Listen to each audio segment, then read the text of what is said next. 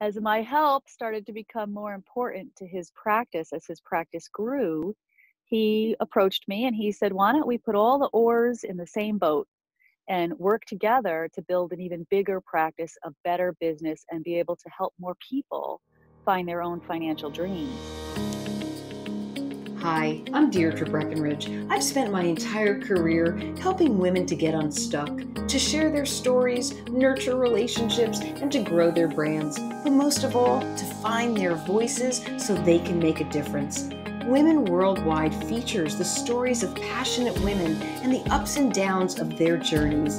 With deep insight and advice, let Women Worldwide ignite your passion so you can excel in life.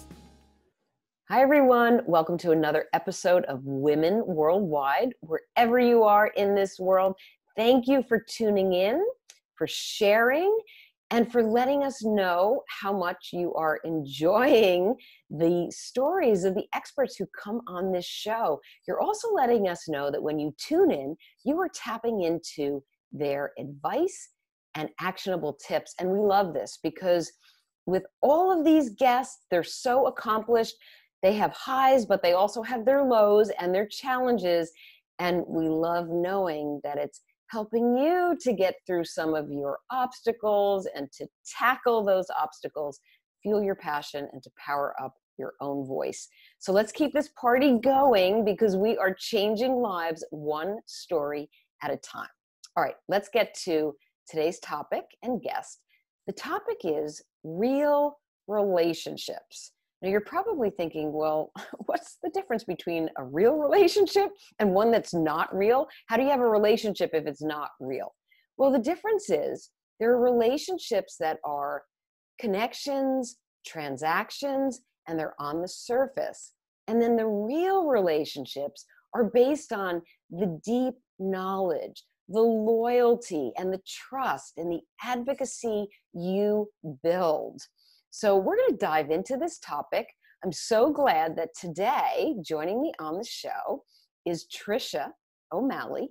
She is the Director of Client Relations and Marketing at Northwestern Mutual, and she has extensive knowledge in relationship building, philanthropy, donor relations, and she uses her skills in marketing also to be able to create better experiences and service. Now, I could go on and on about Tricia, but I think it's best that she shares her story with you. Tricia, it's great to have you on my show. Welcome. Thank you, Deirdre. I'm so excited to be here, and what an appropriate topic. I've got oh. lots of relationships. I know you do. That's why you're the perfect guest. And you also know how much I believe in real relationships mm-hmm. and have been using this as a, a basis of study. And before we dive into what makes a great relationship and what are the steps that we can take, and I think maybe you could just kick it off with how did you get to a point of being a director of client relations and marketing mm-hmm. at Northwestern Mutual? Sure. Well, I think, like a lot of other women, my career path has not been a ladder. It hasn't been the traditional climb the rung ladder. Um, probably looks a little bit more like a monkey bar, frankly. um, I spent about 26 years in nonprofit, in philanthropy, mostly in the healthcare sector um, got a master's degree in healthcare administration, an advanced degree in healthcare leadership, and was really very vested in helping hospitals raise funds, significant funds. Um, in that role, I spent a lot of time being a conduit between donors and hospital administrators and caregivers or providers, which really led me to where I am today. Um, one of those monkey bar things I did is um, I had been helping my significant other a little bit with his practice. He's a financial planner at Northwestern Mutual. Oh, and ah, as that help, as my help started to become more important to his practice, as his practice grew, he approached me and he said, Why don't we put all the oars in the same boat and work together to build an even bigger practice, a better business, and be able to help more people find their own financial dreams? Um, that excited me. That really excited me. So not only am I using some of my skills, but I get to work with my partner sometimes. That is awesome. So I I love the the monkey bar. Yeah. monkey bars that you use and the fact that you're able to work with your your husband in a way that Mhm. adds value and you're doing something that you love and it's all based on relationships. And and certainly what you Mhm. did in healthcare is a is a basis for great relationships. And I think you know when i when i hear the title and probably when other people hear the title director of client relations you would have to be a, an excellent relationship builder tricia what do you think are the most important characteristics of you know someone in your role and and what you've sort of Mhm. done over the years to build great relationships So my role at Northwestern Mutual is a little bit of an unusual role. Um, what what I primarily do is I work with our current clients to fully establish the relationships. I get to know them very personally and very intimately, and learn more about them, not just the numbers on a piece of paper, but who are they? I spend a lot of time talking to them about what charities they support, what passions they have, and what relationships are important to them in their world. So we can help customize their financial plan to really serve their needs to the best, best ability that we can. see that's really interesting because you just said you focus on the relationships that they have Mhm. And it is, it's Yes. all about them. Uh, it's not numbers, regardless of what the company is and what the company Mhm. does. It's not about the numbers. And I think there's a genuineness and a human that you would have to bring to the table in order for people to have that trust in you. Yes, um, I think my donor background, my donor relations background helps with that because it's the same process. It's really finding out what the client needs and then meeting them where they are. We're not all the same. And you can put on a piece of paper the demographics. So, Deirdre, you and I might be the same age, gender, ethnicity, marital status. We, we might look the same on paper, but we're very different people. And we know that contextually bringing that into the financial planning process, I think, is what makes our team better at what we do. Much, much better. That's really good. And I'm hmm sure, um, you know, when you're working with people, they have challenges that they need or, or hmm they're they're nervous about their financial planning there has to be some kind of level of comfort that you bring as well Absolutely. I think most people feel a little bit like they're opening their underwear drawer when they come yeah and talk to their financial planner, right right? Because there's no hiding what you've done. And and most of us have made a few boo-boos along the way. Maybe we didn't invest properly or save enough or we're self-conscious um, the biggest uh, comment that prospects will say to us is, I don't have much. And that's a subjective term because what sure is not much to me might not be much to, you know, Bill Gates or someone else. It's right it's all relative. And we don't we actually don't look at a person's net worth or a person's availability to invest when it comes to dollars when we choose who we work with. I probably should should mention that actually. One of the other differentiating facts for our team, and, and the team I work for is Small World Wealth Management at Northwestern Mutual, is that we only work with people that we like, that uh-huh. are engaged, that are interested in the process and the program. And the reason is if if someone is combative or difficult or not uh, disclosing everything, um, or just frankly, you know, not fun to be around, then there's no reason to work with them. We're not the right advisory team for them. There's plenty of others out there. Absolutely it sounds like you Mhm. work with people like you right I think that that's that's very true. That's very true. We've all gone gone through some of those personality tests. I'm sure you've done it, and and on our team we've done some of them. Um, Joe, my my partner, and I uh, uh, come up very close in personality, which sometimes annoys the rest of our team members because I think they'd rather have a little two peas in a pod yeah yeah. But um, it is it's helpful to have a very similar uh, feeling, a very similar way of carrying yourself. Um, and then to answer a little bit more, something else, something else you asked me about building the relationship begins with the seed of curiosity. I am innately curious. And so when I meet you, I want to I want to learn about you. I want to I want to find what your uh, ledger is. You know, every map has a ledger. It tells you how much distance is between this and this and north and south. And every Right. person, I think, has that too. And so I really do try to spend some time on the ledger so I can see what's important to you as an individual. I'm so glad you pointed that out. Uh, curiosity, first of all, is a quality, is a really good quality for any leader. And apply that to the relationship. That's, uh, you know, Mhm. a, a an ingredient in the secret sauce.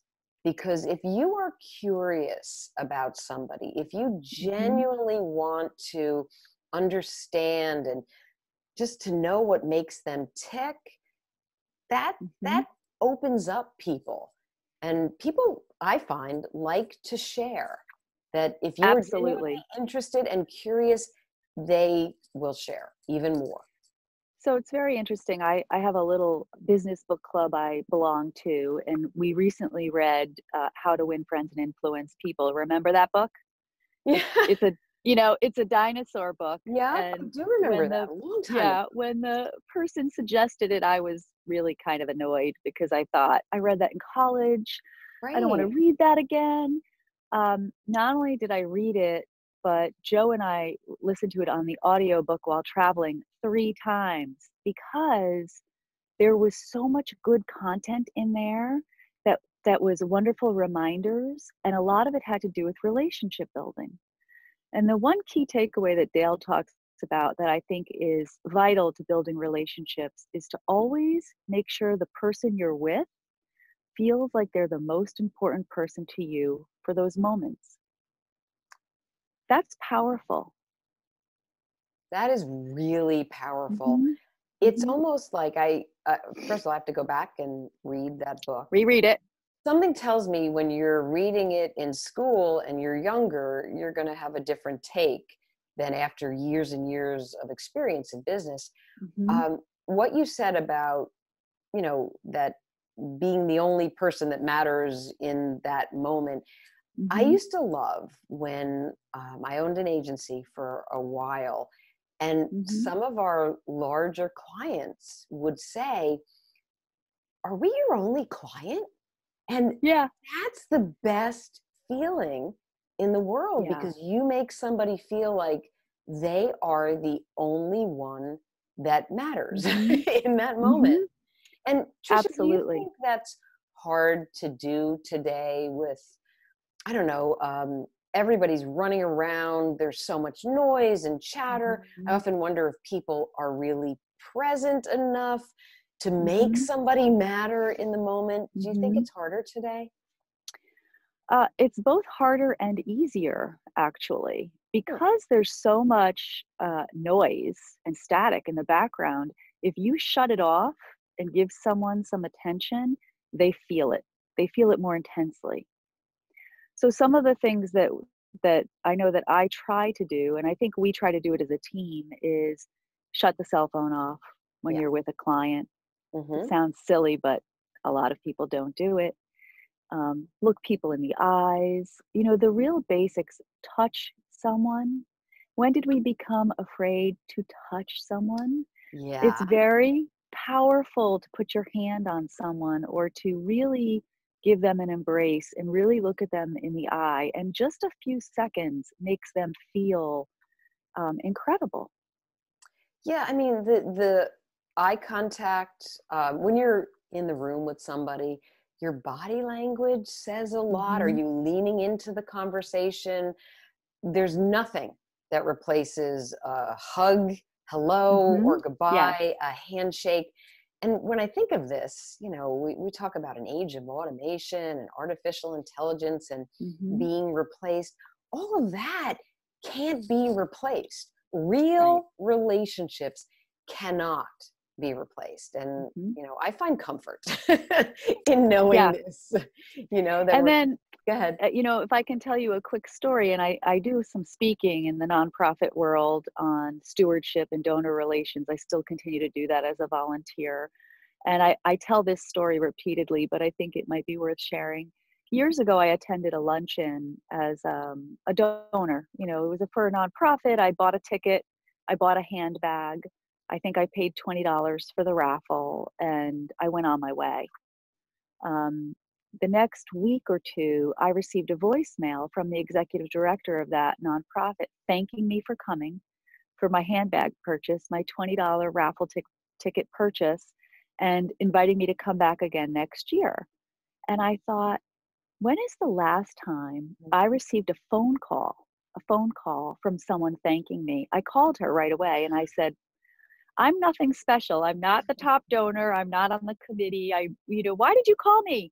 And she said she called every single attendee, 450 attendees, to thank them. Oh, I'm getting chills. Because even if they only made a small contribution, they attended, they participated, they supported, and she wanted them to feel the appreciation. That blew me away. That blows me away because yeah. it meant that much to yes. somebody. 450 calls. That is unique. Yes. and we can hide behind email and texting and electronics. Right. You know, talking to somebody like we're doing right now, talking on the phone, face to face, you know, it just is incredibly different than a text or an email. Absolutely. Some, mm-hmm. Sometimes people are shocked when I pick up the phone yes. and actually call them because, you yes. know, I guess we're also used to email and text. Now, mm-hmm. Tricia, I'm, I'm going to ask you to hold your thoughts just for a moment. Okay. We're going to shift our focus over to leadership and emotional intelligence because as you may know, I've embarked on this millennial passion project. Um, I've been doing research for the past year, and the millennials that I've interviewed have helped to build a model called FEEL Face Your mm-hmm. Fears, engage with empathy, use ethics and good mm-hmm. judgment, and unleash the love. And before I share with the Women Worldwide audience where they can all go to take a test to see how much they mm-hmm. feel, I just want to ask you how are you bringing emotional intelligence into the workplace with the mm-hmm. people that you're working with? I think that's an easy answer, but hard to implement. And the answer for me is to not be afraid to be vulnerable. I think that if you if you take away take your coat off and show your colleagues and your clients that you're you're vulnerable, you're you're very human and very raw, you will connect with them in ways that um, you can almost can't break that bond in the future. That's a really great point. And mm-hmm. as you, I use it as peel back some of the layers of the onion or mm-hmm. take off your coat. You actually have to do that first. I think yeah. that younger generations, um, so millennials and Gen Z coming into the workforce, they're not going to open up first. It mm-hmm. takes somebody else, it takes a, a supervisor, a manager, a leader to actually mm-hmm. be a mm-hmm. little bit vulnerable to create that safe space for them to mm-hmm. share as well. So thank you. Thank you for that important answer.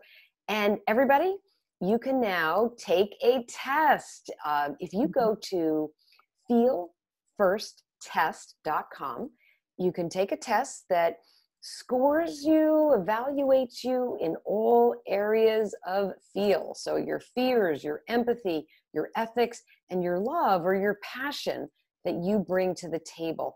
And once you're scored, the test recommends exercises for you to do so you can increase feel. And the whole reason is so that you can actually build these real relationships. So thank you, Tricia, for answering.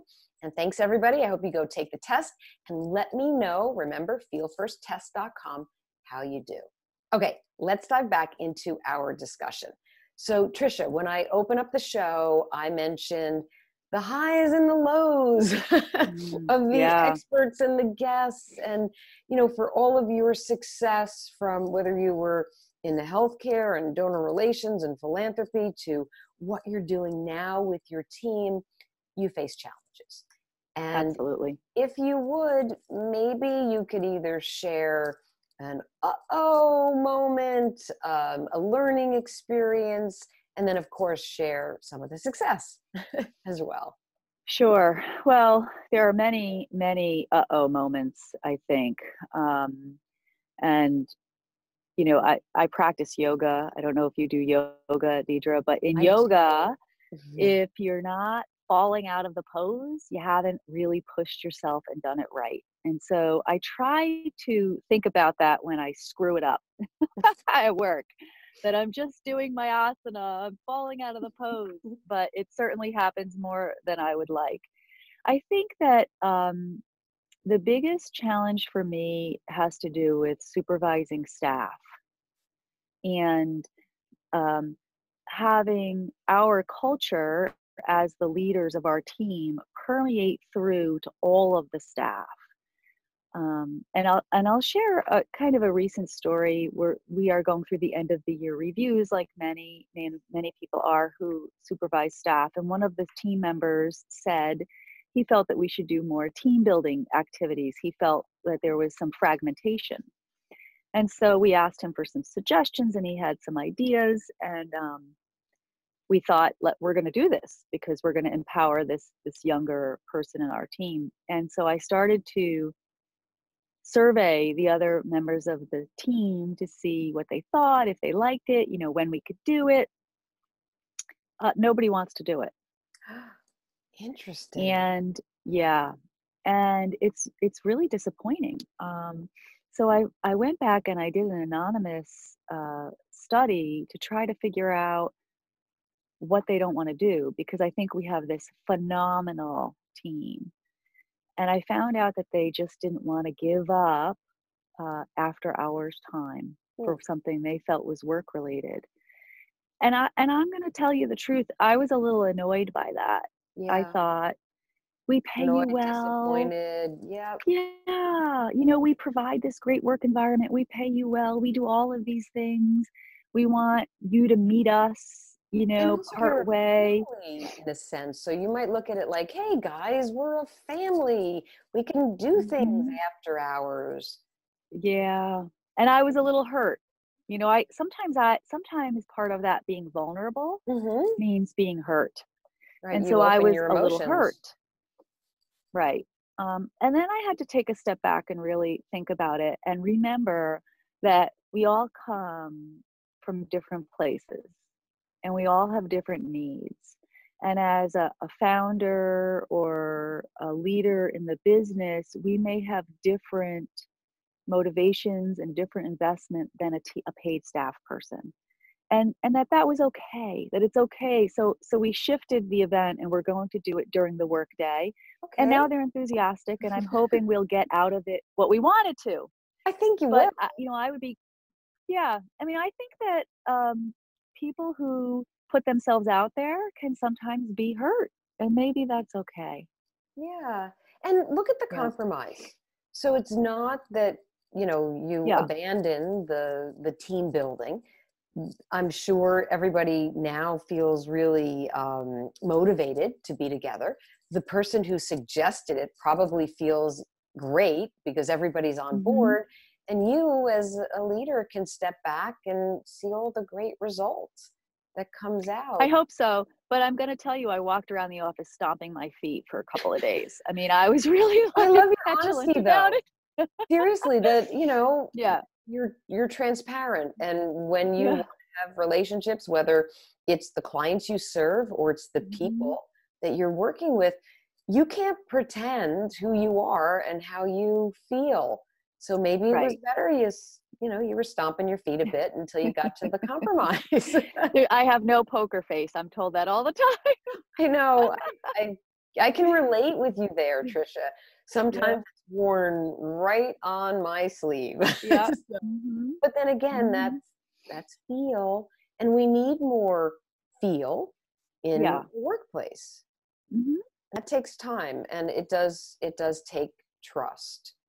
Um, were, hmm are there any um, learning experiences that maybe you can share where um, I don't know that you that happened to you that um, you kind of tackled a challenge, moved something forward, something that maybe you learned in your career over in healthcare that you brought over into mm-hmm. financial services?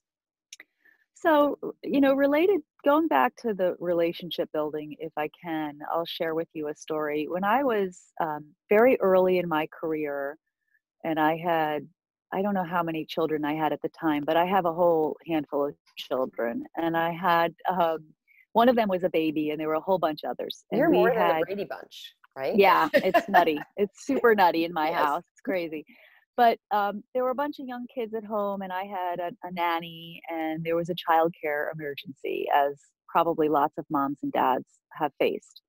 And um, i had to make alternate arrangements and i was running around and i, I figured out a, what i thought was a good temporary solution which would make me 30 minutes late for work officially for a two week period of time.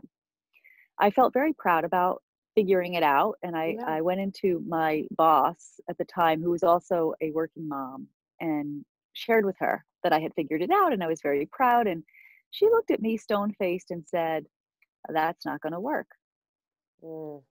and i thought what and she said you need to be here at whatever time eight o'clock or whatever time it was and i backpedaled and i said well I'll, i can stay half hour later i can work through lunch i can you know and and she said no you need to figure it out.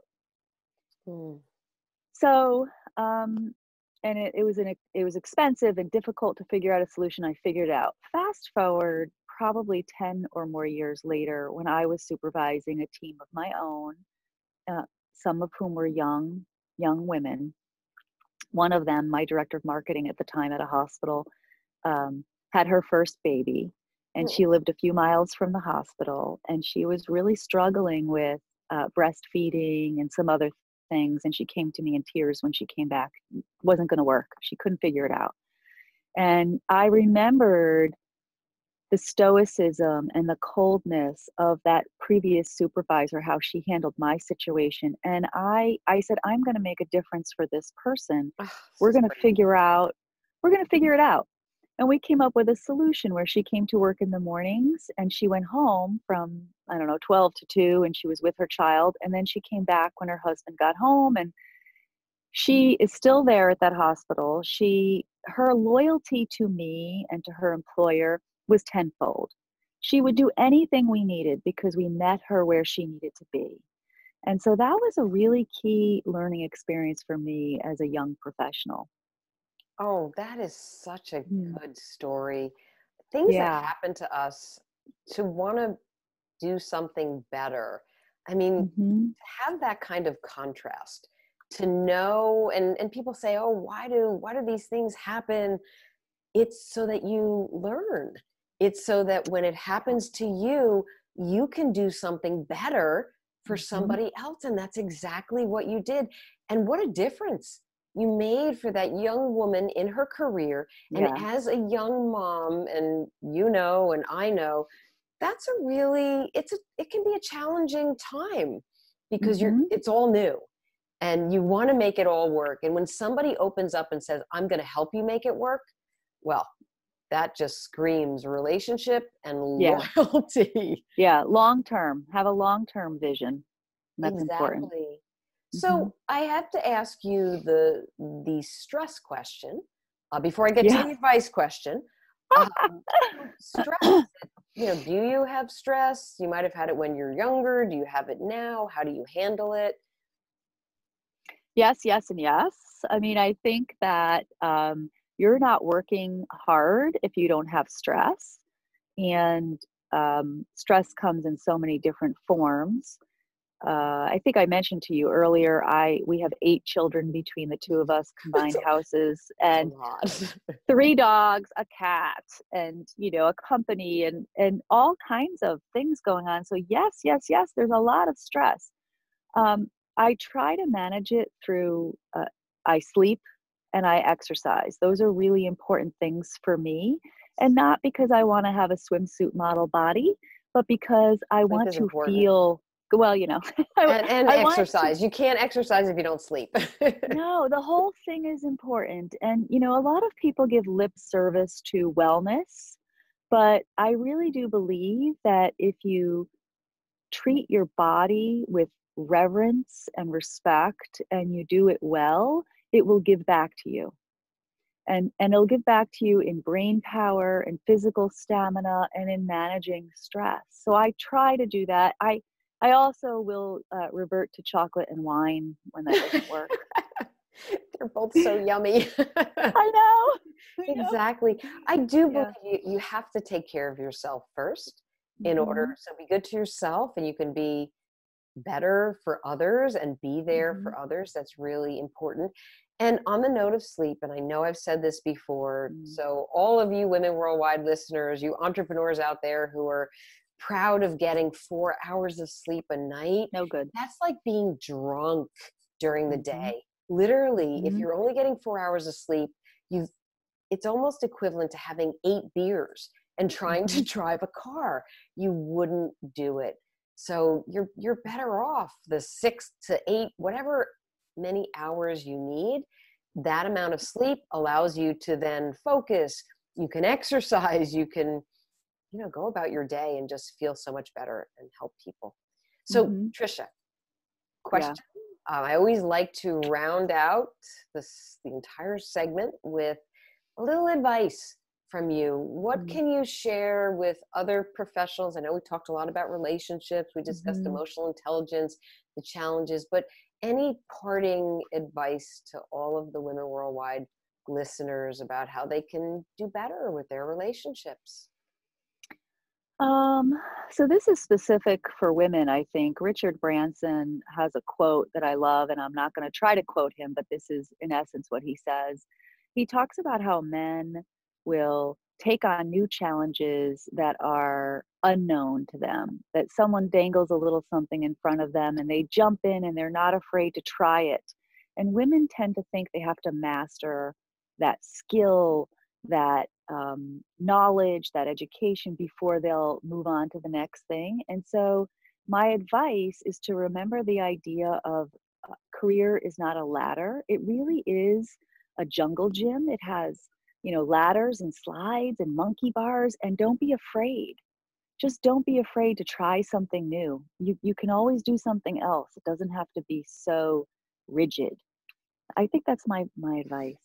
That's great advice. I love the jungle gym. I know. right. There's all different things that you're going to get your hands on and Mm-hmm. embrace and try it. Go go for it. Last question, super easy. Where can people find out more about you and your work? Sure. So our website is smallworldwealthmanagement.com, or you can reach me at tricia.o'malley at nm.com. Awesome. Tricia, thank you so much for coming on the show, for sharing your journey, your everything that you've learned, giving really good advice. We so appreciate you. It was a real honor. I really do appreciate it. I hope you have a wonderful day. Yes, you too. And I want to thank all of you for tuning into Women Worldwide. Keep the feedback coming. We love it. You know, you can tweet to us and you can tweet to me. I'm at Dee Breakenridge. And be sure to sign up or subscribe to our YouTube channel. It's the Deirdre Breakenridge channel, so you can see our guests. Of course, you can always listen to the podcast as well. Okay, friends, until our next episode, stay focused, energized, and feeling empowered. Thank you.